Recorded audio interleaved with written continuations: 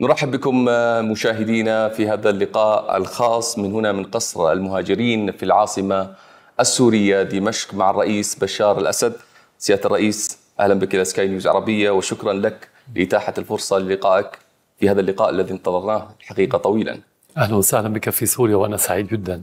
أن أستقبلكم اليوم وأن يكون بيننا حوار مثمر. شكرا لك. بما أن هذا أول لقاء سيادة الرئيس عبر سكاي نيوز عربية كأول قناة عربية آه، نعود معك إلى بداية الأحداث إلى عام 2012 هل كان بالإمكان في رأيك تفادي ما حدث؟ هل كنتم ستخوضون الحرب هذه المواجهة بنفس الطريقة بنفس الرؤية على امتداد أكثر من عقد؟ طبعا من الناحية النظرية كان ممكن تفادي هذه الحرب آه، لو أننا خضعنا لكل المطالب التي كانت تطلب أو تفرض آه، على سوريا بقضايا مختلفة. ولكن في مقدمتها التخلي عن الحقوق السورية والتخلي عن المصالح آه، السورية. لذلك أقول من الناحية النظرية لأننا من الناحية العملية لن نذهب بهذا الاتجاه. ولكن لو افترض افترضنا بأننا سنذهب فهذا يعني بأننا سنتفادى الحرب ولكن سندفع ثمن أكبر بكثير لاحقا آه، هل كنا سنتعامل مع الأمور بنفس الطريقة؟ آه، الطريقة ممكن يكون هناك طرق مختلفة لنفس الهدف، المهم ما هي السياسة وما هي الرؤيه الوطنية. آه، رؤيتنا كانت هي الدفاع عن المصالح السورية، الدفاع عن سوريا في وجه الإرهاب، الدفاع عن استقلالية القرار السوري، فلو عدنا بالزمن إلى الوراء سوف نبني ونتبنى نفس السياسة. هل كنت تتوقع ان حجم الضرر حجم الدمار أن يكون بهذا الحجم على الأقل خلال السنة الأولى؟ لا لم نكن نتوقع لأننا لم نكن نعرف ما هي الخطط المحضرة. كنا نعرف أن هناك أشياء تحضر آه، لسوريا وكنا نعرف وكنا نعلم منذ بداية الحرب بأن هذه الحرب ستكون حرب طويلة وليست أزمة عابرة كما كان يعتقد البعض. ولكن تفاصيل لا, أحد يتوقعها. يعني اسمح لي سيادة الرئيس بهذا السؤال. يعني المعارك كانت تدور على بعد أمتار من القصور الرئاسية ان صح التعبير. اللحظه يعني ألم تخشى على حياتك على حياة أبنائك؟ وهناك كانت في المنطقة سيناريوهات مرعبة الحقيقة. على سبيل المثال ما حدث لرؤساء ما حدث مثلا للرئيس القذافي. اولا كل من لا يخشى الخطر هو إنسان غير طبيعي وغير متوازن. فالخوف هو جزء من طبيعة الإنسان. الشيء الطبيعي هو أن يخاف الإنسان ولكن الخوف, الخوف له أشكال تتراوح ما بين الهلع والتوجس وما بينهما. لم نصل لحد الهلع هذا بكل آه، تأكيد. لكن جانب آخر أنت تعيش حالة عامة. لم أكن أنا المستهدف كشخص. كان الكل مستهدف. كلنا كنا نسير في هذه الشوارع والطرق وفي منازلنا والقذائف تسقط على مدى سنوات. فيصبح الخوف والقلق هو جزء من اللاوعي وليس جزء أنت تمثل قيادة الدولة يعني. صحيح ولكنك بالأخير إنسان وتتفاعل مع الآخرين. فكانت حالة عامة عندما تصبح حالة عامة لا يمكن أن تعيش مع الخوف لسنوات. يصبح جزء من شيء تتعايش معه بشكل آه، يومي. أما بالنسبة للسيناريوهات التي حصلت الحقيقة لا لأن هذه السيناريوهات وضعت كما حصل مع مع القذافي أو كما حصل مع صدام حسين في العراق لكي تخلق حالة رعب.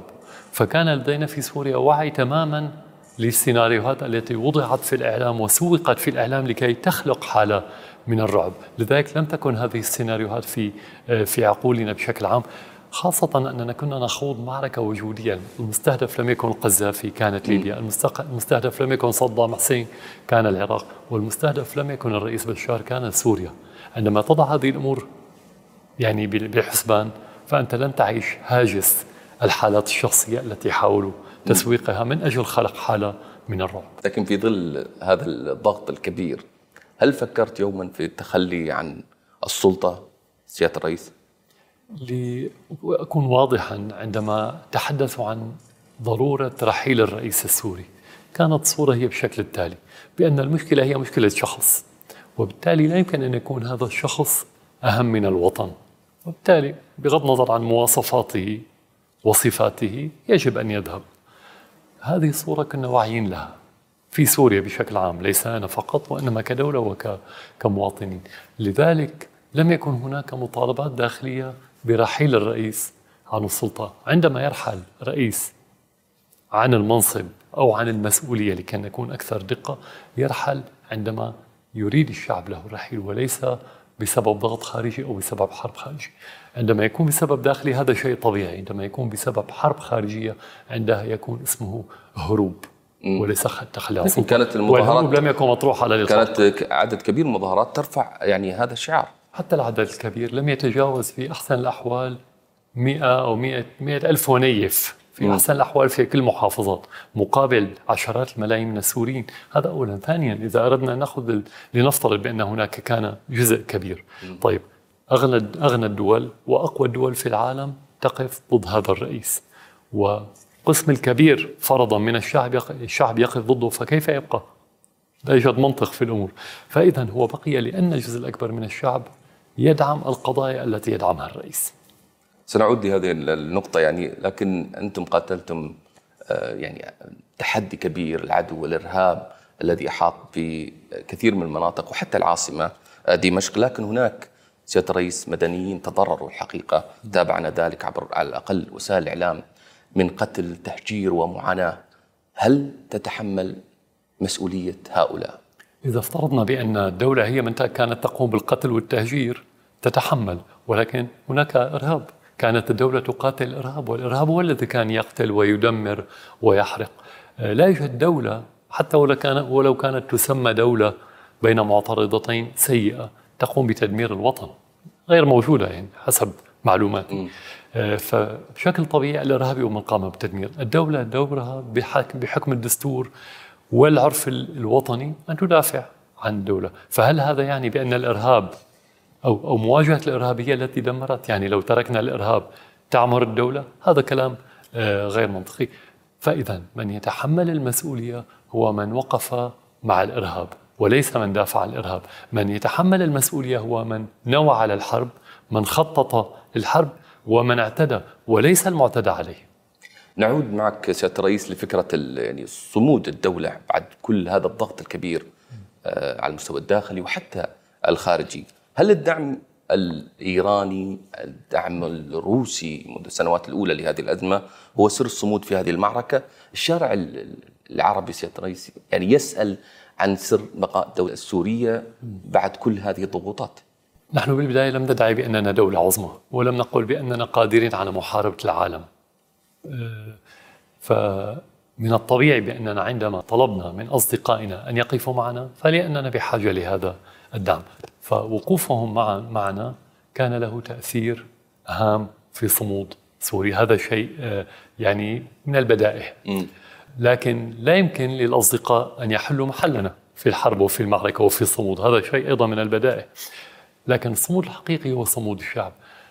السؤال هنا الذي تطرحه له عوامل كثيرة. أنت تتحدث عن عشرات الملايين وتتحدث عن واحدة من أقدم الشعوب أو المجتمعات في العالم. آه، فهناك تراكم تراكم. اليوم نستطيع أن نقول هناك إيمان بالقضية هناك خبرة هناك معرفة آه، هناك تمسك بالحقوق آه، هناك وعي ونضج لطريقة اللعبة التي أديرت بها الأمور. عند التحضير لهذه الحرب وعند بدء هذا الحرب. كل هذه الأشياء وغيرها من العوامل الكثيرة لا مجال لذكرها الآن هي التي كونت حالة الصمود وليس هي قضية لا رئيس ولا مسؤول ولا دولة ولا مجرد جيش. كلمة السر في في في هذا يعني هذا هذا الصمود إن صح التعبير خلال هذه السنوات كيف يمكن أن تلخصها؟ كلمة السر هي الوعي للمخطط. لم نسقط ولا في فخ من الأفخاخ التي رسمت لنا في الخارج. الوعي هو أساس النجاح والصمود عاجلا أو اجلا.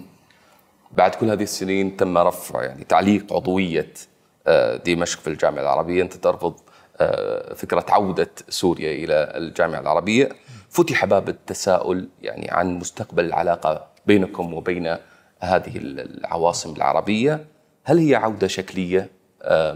أم في رأيك سيكون لها ما بعدها على الأقل خلال المستقبل القريب؟ الحقيقة أن العلاقات العربية العربية منذ تكون عندي الوعي السياسي منذ أربعة عقود هي علاقات شكلية. آه، لماذا؟ آه، لسبب بسيط لأننا يعني بطريقة تفكيرنا ربما على مستوى الدول أو هي ثقافة عامة لا أدري. لا نطرح حلول عملية ولا نطرح أفكار عملية لأي شيء. نحب الخطابات آه، والبيانات ولقاءات شكلية هذه طبيعة العلاقة. فعودة سوريا هل ستكون شكلية أم غيرها؟ هذا يعتمد على طبيعة العلاقات العربية العربية. هل تغيرت؟ لا أعتقد بأنها تغيرت بالعمق. هناك بداية وعي لحجم المخاطر التي تؤثر علينا كدول عربية لكنها لم تصل إلى مرحلة وضع الحلول. طالما أنه لا يوجد حلول للمشاكل فإذا العلاقة ستبقى شكلية. لكن يعني على الرغم من الوعي بهذه المخاطر المخاطر الحقيقية أصبحت في العالم العربي وكبيرة على بعض العواصم. على الرغم من ذلك لماذا لم تتضافر الجهود على الأقل؟ لأن المصلحة ستكون مشتركة. صحيح. لأنك أنت أمام مرحلتين عندما يكون لديك مشكلة. الأولى هي أن ترى المشكلة أن تفهم المشكلة أن تشخص المشكلة. والمرحلة الثانية هي أن تضع العلاج. نحن في المرحلة الأولى لم ننتقل للمرحلة الثانية بعد بحسب اعتقادي. بالنسبة لسوريا ماذا تتوقعون من الجانب العربي سيادة الرئيس؟ لا أستطيع أن أتوقع أستطيع أن أأمل نأمل بأن نتمكن من بناء مؤسسات. مشكلة العرب أنهم لم يبنوا العلاقات على مؤسسات وبالتالي لم يبنوا مؤسسات. وإذا تحدثنا عن العلاقات الثنائية فهي ضعيفة لهذا السبب. والعلاقة الجماعية عبر الجامعة العربية لأن الجامعة العربية لم تتحول إلى مؤسسة بالمعنى الحقيقي. هذا هو ما, ما نراه وهذا ما نأمل أن نتمكن من تجاوزه. فيما يتعلق بالمعارضة من هي المعارضة التي يعني تعترفون بها اليوم بعد كل هذه السنوات؟ بالمختصر هي المعارضة المصنعة محليا لا المصنعة خارجيا المصنعة محليا يعني أن تمتلك قاعدة شعبية أن تمتلك برنامج وطني أن تمتلك وعي وطني. الجهل لا يعني كل المواصفات الأخرى مع الجهل لا تكفي. الوعي الوطني والنية الوطنية الصادقة. عدا عن ذلك المعارضة هي شيء طبيعي. نحن بشر ونختلف بالآراء في المنزل الواحد. فكيف لا نختلف على مستوى الوطن تجاه الكثير من القضايا؟ البعض يرى أن حتى معارضة الخارج لديها رؤية ربما تختلف مع الدولة السورية وقد تكون بالفعل تمثل جزء من من هذا الشعب. طبعا كلمة خارج لا تعني السوق قد يكون معارض داخلي ومرتبط بالخارج وقد يكون مرتبط معارض بالخارج ولكنه مرتبط بوطن. فالقضية ليس لها علاقة بالخارج والداخل لها علاقة بأين تكمن انطلاقتك من الشعب أم من المخابرات الأجنبية؟ هذا هو السؤال فقط. أنتم أعلنتم عن ترحيبكم بعودة اللاجئين الأعداد الكبيرة من اللاجئين الملايين لكن البعض يتخوف من فكرة سيادة الرئيس العقاب يعني بعد العودة.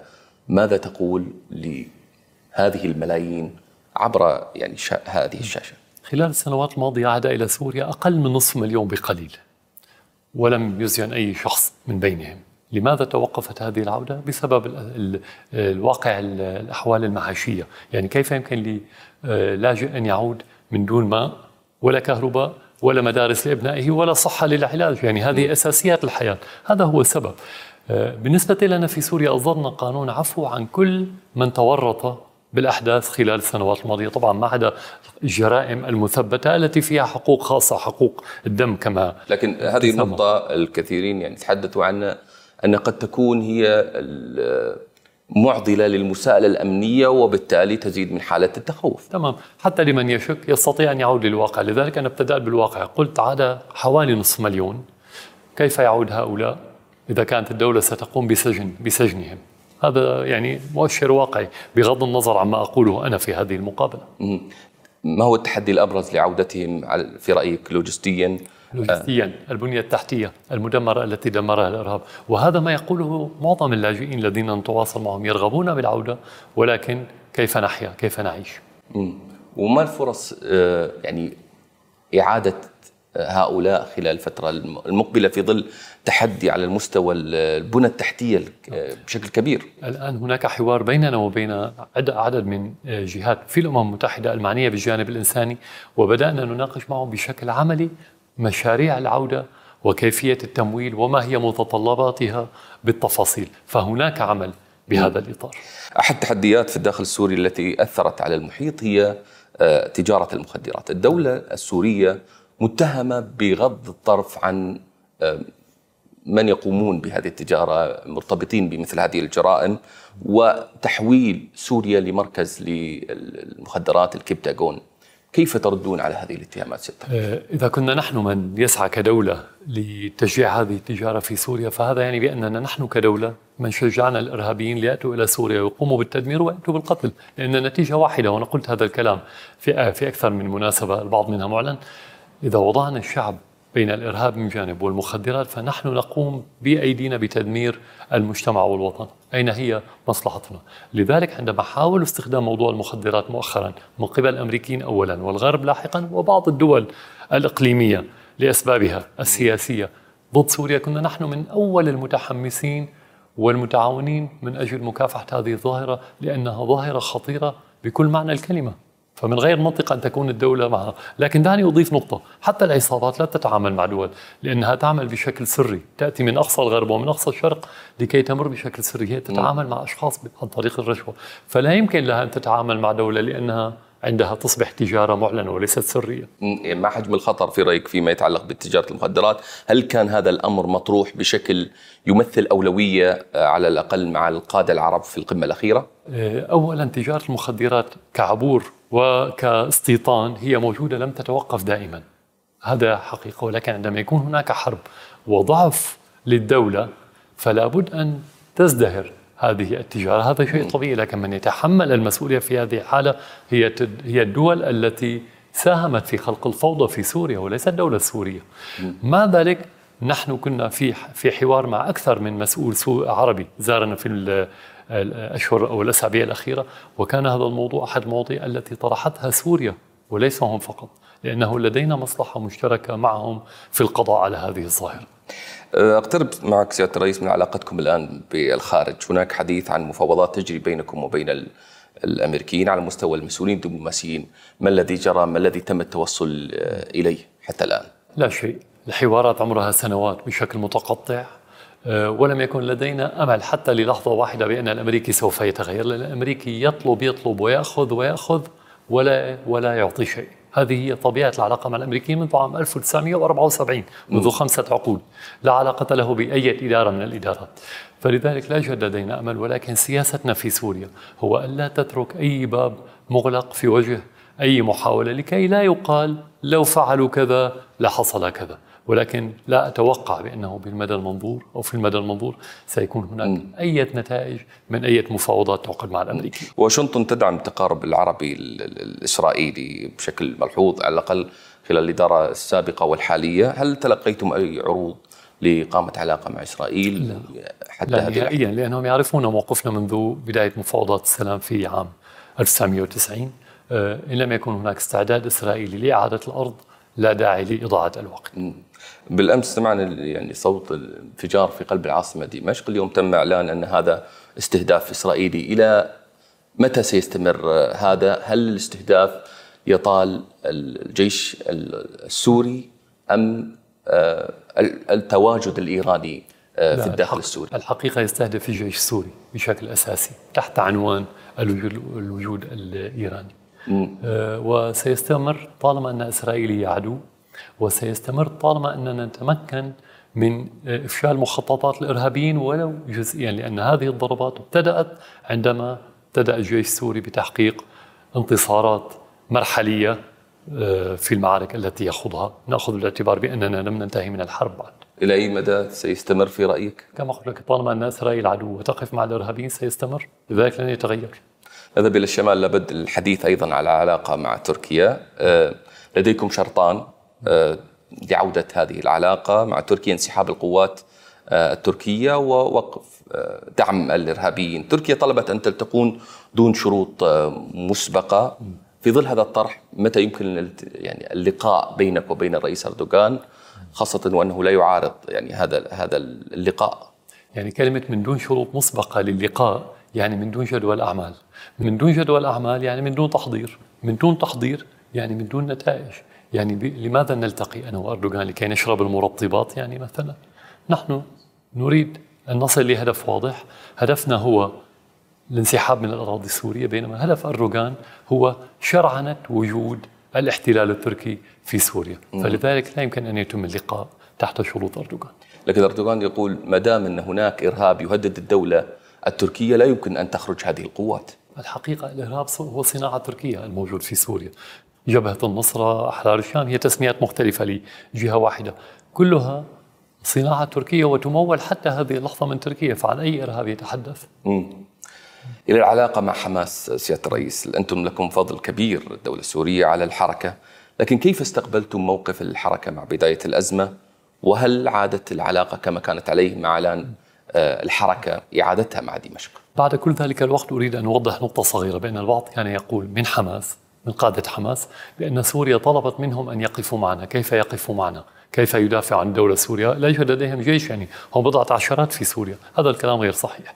الموقف نحن أعلنا بأكثر مناسبة بأنه موقف غدر لأن هذه الجهة التي ليس لأننا وقفنا معها لكن لأنها كانت تدعي المقاومة في ذلك الوقت. وأنا أتحدث عن القيادات. لا أتحدث عن كل حماس. لا أعرف كل حماس. التي ادعت بأنها تقف مع المقاومة هي نفسها التي حملت علم الاحتلال الفرنسي لسوريا. فكيف يمكن لشخص يدعي المقاومة أن يقف مع احتلال نتج باحتلال أمريكي وتركي وعدوان إسرائيلي تحت علم محتل فرنسي؟ هذا الموقف هو مزيج من الغدر والنفاق.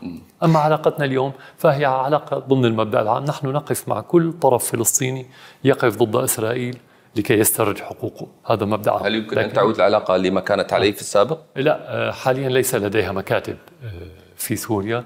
آه، ومن المبكر أن نتحدث عن مثل هذا الشيء. لدينا أولويات الآن. هي المعارك داخل سوريا هي الأولوية بالنسبة لنا نعود لمسألة الأولويات كما تحدثت إلى الداخل السوري. يعني مواقع المواطن السوري والتحديات التي تواجهها الدولة. اعتقد البعض آه، مع انتهاء الحرب نسبيا ورفع تعليق عضوية سوريا في الجامعة العربية أن الاقتصاد سيتحسن متسارع أو بشكل تدريجي على الأقل سيكون هناك أمر ملحوظ سيادة الرئيس لكن هذا الأمر آه، لم يحدث لماذا؟ هل في رأيك العقبة الأساسية هي قانون قيصر أم ما العقبات؟ قانون قيصر هو عقبة لا شك ولكننا تمكنا بعدة طرق من تجاوز هذا القانون. هو ليس العقبة الأكبر.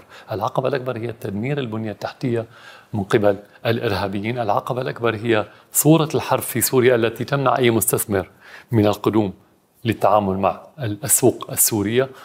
آه، العقبة الأكبر أيضا آه، هي هي الزمن. أنت بالاقتصاد تستطيع أن تضرب علاقات اقتصادية وتهدمها خلال أسابيع أو أشهر ولكنك بحاجة أيضا لسنوات لاستعادتها. فمن غير المنطقي والواقع أن نتوقع بأن هذه العودة وهذه العلاقات التي بدأت تظهر بشكل أقرب إلى الطبيعي ستؤدي إلى نتائج اقتصادية خلال أشهر. هذا كلام غير منطقي. بحاجة للكثير من الجهد والتعب لكي نصل لهذه النتيجة. أه، ما يخص لبنان الذي يعيش الآن وضع الحقيقة على المستوى السياسي أه، والاقتصادي وضع متردي هل تدخلتم سياسيا لإنهاء الأزمة السياسية في لبنان وهل تدعمون المرشح سليمان فرنجية لحل هذه الأزمة في المشهد اللبناني؟ طالما أننا لم نتدخل لحل الأزمة في لبنان فلا يمكن أن نتحدث عن دعم أي مرشح أو الوقوف ضد أي مرشح. لا يمكن لأي طرف خارجي لأي طرف خارجي لا سوريا ولا غير سوريا أن يساعد في حل الأزمة اللبنانية إن لم يكن هناك إرادة لدى اللبنانيين من أجل حل أزمتهم. هذه هي المشكلة. فإذا لابد من دفع اللبنانيين للمزيد من التوافق عندها يمكن الحديث عن حل هذه الأزمة. بالنسبة لنا في سوريا ابتعدنا عن الملف اللبناني منذ أقل من عقدين من الزمن ونحاول أن نبني علاقات طبيعية مع لبنان من دون دخول في هذه التفاصيل في الوقت الحالي. نعود لاقتراب نظرتك الشخصية للأحداث. يعني مرت على سوريا حرب لأكثر من عقد تحديات عدة أخيرا آه، الزلزال الذي أصاب يعني آه، أجزاء كبيرة من الأراضي السورية. ما هو الموقف سيادة الرئيس الذي أثر فيك شخصيا خلال كل هذه السنوات؟ الحرب والزلزال. نعم. طبعا الزلزال لا شك بأنه حالة جديدة بالنسبة لسوريا لم تحصل منذ مئة سنين. أه وتخلق لديك شعور من الصعب أن أعرف هذا الشعور ولكن وأنت تعمل من أجل إنقاذ ما يمكن إنقاذه وهناك أشخاص يبيتون تحت الأنقاض بين الحياة والموت لأيام. هذا موقف إنساني آه، له رهبة خاصة. لكن على مستوى الحرب بشكل عام هناك مواقف إنسانية لا تنتهي. هناك المدرس الذي رفض أمر الإرهابيين بعدم الذهاب إلى المدرسة وقتل لهذا السبب مدرسين ومدرسات هناك عامل الكهرباء الذي أصر أن يصلح الكهرباء وقتل وهو يعرف بأنه سيموت إلى آخره.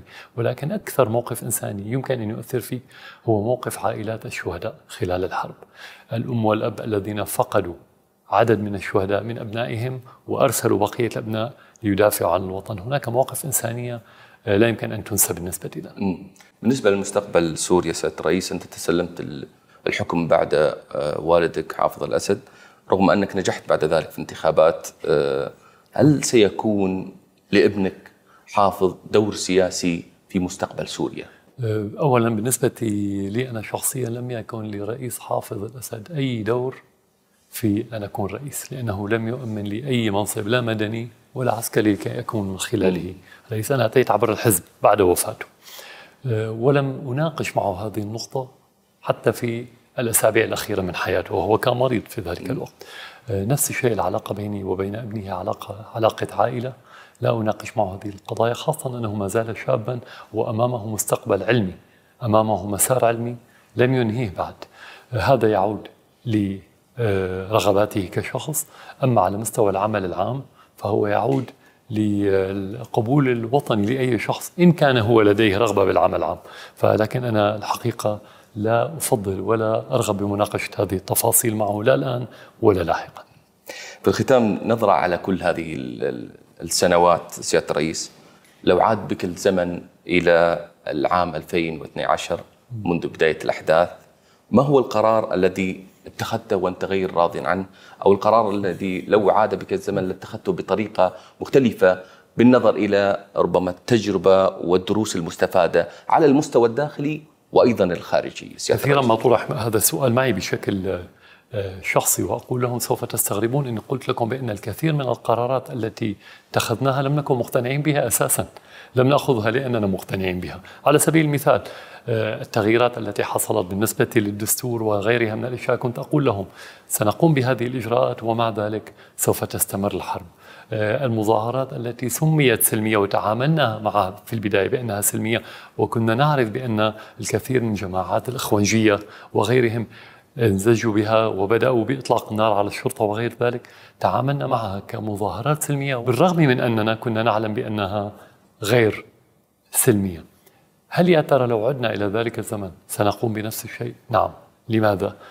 آه، لأن التعامل مع الموضوع لا ينطلق من قناعاتك الشخصية دائما ينطلق من مفهوم الناس للموضوع. فكثير من الناس كان يؤمن بأن هذه المظاهرات سلمية وكان يعتقد بأن الدستور هو المشكلة وكان لابد من أن تقوم بهذه الإجراءات من أجل أن تثبت لهؤلاء الأشخاص بأن المشكلة لا هي لها دستور ولا مظاهرات سلمية القضية أكبر من ذلك. طبعا اقتنعوا ولكن متأخرين. فنعم كثير من الأشياء لم نكن مقتنعين بها ولكننا سنعود. ونتبعها ونتبناها مرة أخرى بالنسبة للخارج ومسألة التحالفات آه، كيف تنظر لها؟ يعني العلاقة مع روسيا والعلاقة مع إيران أثبتت أن سوريا تعرف كيف تختار أصدقاء بشكل صحيح أما العلاقة مع الأتراك فهناك ما يتساءل هل ذهبنا بعيدا؟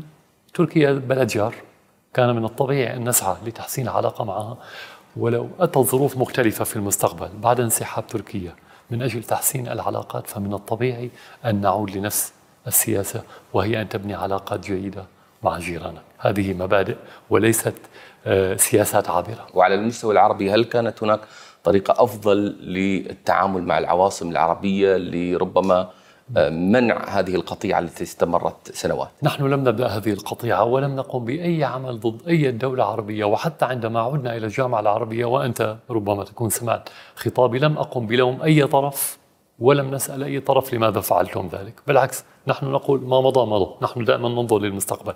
هل هناك طريقة أخرى أفضل؟ إذا كان هناك طريقة أخرى أفضل نتمنى أن ننصح بهذا الشيء لنتبعه بالأجر لدينا معه لكن لا نسعى لصدامات ولا مشاكل.